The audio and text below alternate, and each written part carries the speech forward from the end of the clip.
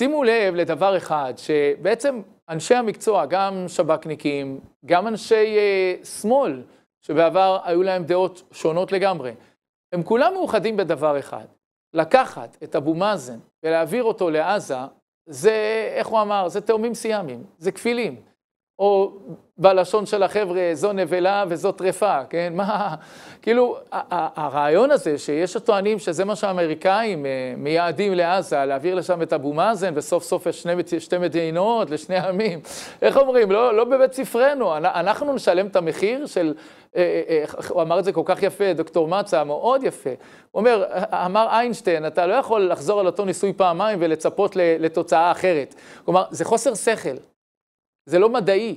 עכשיו, תשימו לב שאתם יודעים שאנחנו באמת רוצים את עזה, משום שזה חלק מארץ ישראל, זה חלק מארץ הקדוש ברוך הוא, בדיוק השבת פרשת לך לך, לזרעך אתן את הארץ הזאת, ההבטחה האלוהית לעם ישראל, שארץ ישראל שייכת לעם ישראל, ועזה היא חלק מארץ ישראל.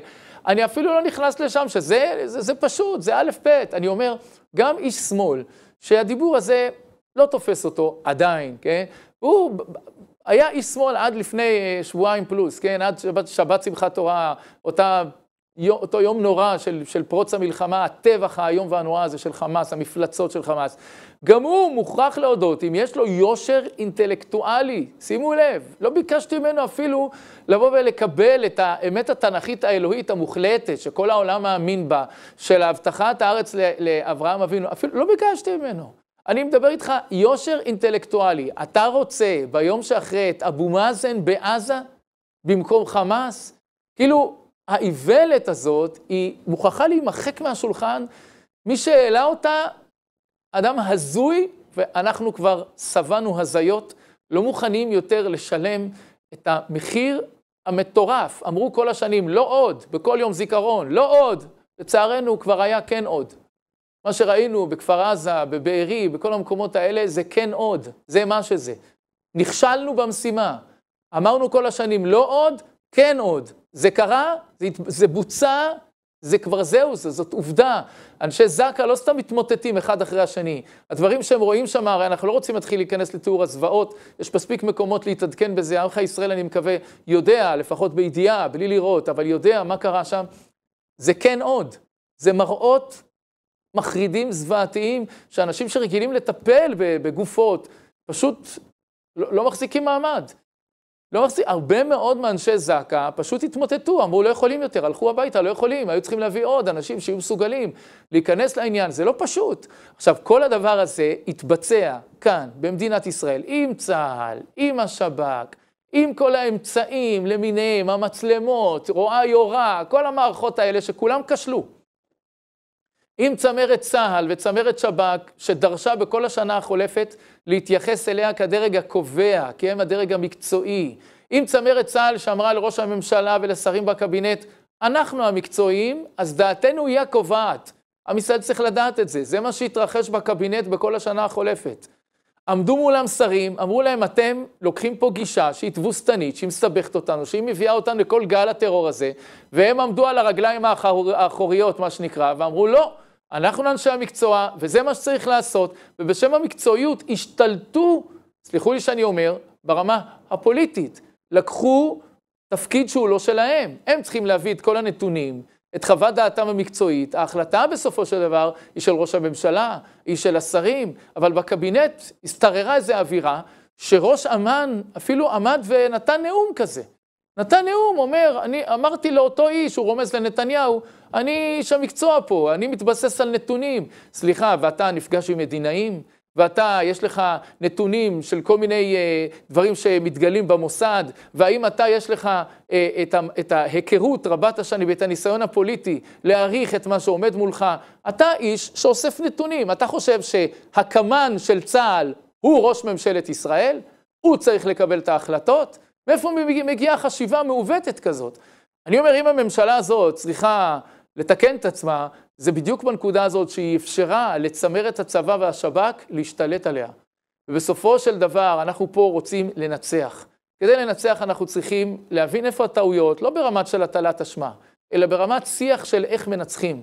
וברמת שיח של איך מנצחים, אנחנו צריכים ממשלה שחותרת למקום האידיאולוגי, למקום שייקח את עם ישראל למחוז שבאמת לא עוד, שבאמת לא תחזור השואה הקטנה הזאת, הרי שום דבר לא משתווה לש, לשואת אירופה, לשואה הנאצית, כן, בכמויות, בהיקפים, מיליונים, אבל מבחינת איכות הפעולות, המפלצתיות, הטירוף הבלתי נתפס שראינו שם, זה, זה התרחש, זה קרה כאן. ואנחנו מוכרחים להבין שטעינו בכל התפיסה, בכל ההסתכלות. תפיסות אוסלו עדיין שלטו בראשי הצבא, ראשי השב"כ. הם התייחסו לתפיסות האלה במעין הסתכלות דתית, פרימיטיבית. הרי היו להם התראות באמצע הלילה, מה עצר אותם? לא, חמאס מורתע. כי, כי, כי זה הדת, הדת אומרת שחמאס מורתע. מה דת? יש נתונים מול העיניים. למה אתה לא מבין מה שאתה רואה מול עיניך? כאילו, תחו עיניהם מרעות, וכל המציאות הזאת, אנחנו בעזרת השם, היא תשתנה. הרי כל הביקורת הזאת חלילה, לא ממקום של הטלת אשמה, תשכחו מזה, זה ממקום של איך מנצחים, איך לוקחים את מדינת ישראל קדימה.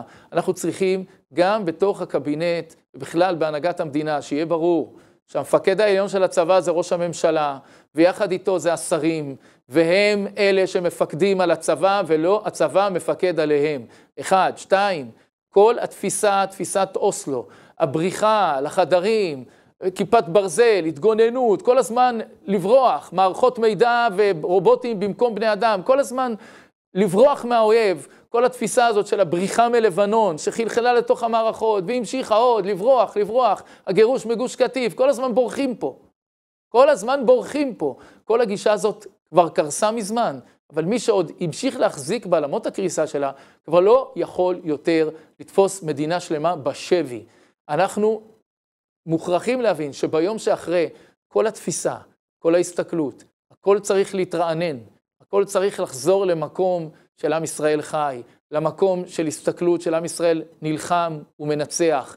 לא עם שפוחד מהצל של עצמו, כי ככה החליטו אה, ראשי צבא או ראשי שב"כ, אלא עם שקם ונלחם את המלחמה שלו. לא מאפשר לרצוח פה עוד ועוד יהודים בשנה החולפת ולא לבצע שום דבר, כי אתה לא רוצה לעצבן אותם ולהצית אותם ולהצית אש גדולה יותר.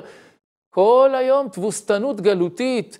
על זה אומר הנביא ישעיהו, התנערי מעפר, להתנער מעפר הגלות. למקום של צבא מנצח, של צבא יוזם, של עם שנלחם באויב, ארדוף אויבי ואשיגם ולא אשוב עד כלותם. אה, אני רציתי לשאול, האם המרואיין שלנו על הקו? אז אה, בואו ניתן, בוא ניתן לזה עוד דקה. אני רוצה פה להכניס פה עוד דבר אחד מאוד חשוב. כרגע, בכל האולפנים, יש שיח של למה נתניהו לא לוקח אחריות? למה נתניהו לא לוקח אחריות? מה, מה, מה נסגר, חבר'ה? מה, מה קורה? אנחנו באמצע מלחמה, לא? למה אתם לא מדברים אה, על ההוא, על... לא, נתניהו. הם רוצים כל הזמן להפנות את האש אל נתניהו, ממשיכים את השיח המפלג, את השיח הזה של ניסיון רק להדיח את נתניהו. לא מעניין אותם כלום. היו פה זוועות נאציות, יותר גרועות מנאצים ברמה מסוימת, ברמה הפרטנית, כן? ולא עוזר שום דבר, ממשיכים עם השיח. וסלחו לי שאני כאן שם לפחות את הבנתי על הסיפור הזה. שכל הזמן מדברים למה נתניהו לא לוקח אחריות, רוצים להסיט את תשומת הלב מהאחראים האמיתיים. האם לא הייתה פה איזה גברת שנעמה בכיכרות ואמרה, בספטמבר לא יהיה לנתניהו צבא? מה היא התכוונה? לא באמת, שאלת טעם, בלי קונספירציות. מה היא התכוונה? או האם לא היה פה איזה יהודי שאמר, וככה זה התפרסם בכל המדינה, אנשים פה יאבדו את חייהם, העיקר שהרפורמה הזאת תעצור. אמר או לא אמר? מה הוא התכוון? מה הוא התכוון? אני לא יודע, לא מתחיל לעלות פה קונספירציות. האם לא הייתה פה תקשורת מגויסת שעשתה תעמולה אנטי-דמוקרטית? האם לא הייתה פה צמרת צבא ושב"כ שבערב פסח, למעשה, כפי שזה נראה מאחורי הקלעים והדברים יצאו והתפרסמו, כן, כפי שזה נשמע, למעשה אמרה לראש הממשלה, תחליט, אתה רוצה שיהיה לך צבא? רד מזה. ולמעשה השתלטה על הדמוקרטיה במדינת ישראל באיזה פוט צבאי, זו אותה צמרת צה"ל שנכשלה פה. עם כל אותן תפיסות אוסלו שלא הייתה מוכנה לשנות את דעתה והשתלטה על הפוליטיקאים בקבינט. האם הם לא אלה שבערב פסח באו ואמרו לראש הממשלה, אדוני הנכבד, או שאתה יורד מזה, או שאין לך צבא. ובסופו של דבר הוא התקפל, שעשה טעות אסטרטגית חמורה, אבל התקפל. כלומר, שאנחנו נמצאים היום עם רשימת אשמים שאפילו לא צריך להזכיר מי פה האנשים שנושאים באשמה הכבדה של הסיפור הזה. אנחנו לא בשיח הזה. אנחנו מגיבים לאותו שיח מפלג מלא רעל שנמצא בארצי השמאל, שמנסים להפנות את האש לנתניהו כדי, כדי להוריד את האש מהאשמים האמיתיים.